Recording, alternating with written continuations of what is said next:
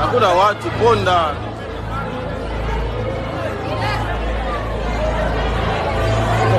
Tumeshasherekea kwanza magodoro.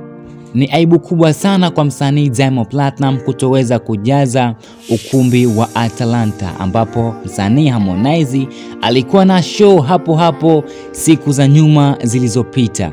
Baada ya show ya Diamond Platinum kumalizika, klipu za show hizo zikaanza kuenea sehemu mbali mbali katika mitandao ya kijamii huku watu wakimcheka kwa kile ambacho ameonekana kukifanya katika show hiyo. Show haikuwa na watu, yaani ukumbi ulikuwa empty kabisa, huku Harmonize aliweza kuposti klipu ambayo na yeye siku za nyuma alikuwa moja ya uwanja huo akitoa show, huku nyomi la watu likuwa kubwa sana wakimshangilia Harmonize. Kwa sasa shilingi imepinduka, ipo kwa upande wa Harmonize. Diamond Platinum ameshindwa kujaza ukumbi wa Atlanta huko Marekani, huku klipu za editing ambazo zikionyesha Diamond Platinum ameweza kujaza, lakini ukweli halisi eh, Diamond Platinum alishindwa kujaza ukumbi wa Atlanta huko Marekani. Msanii pekee ambaye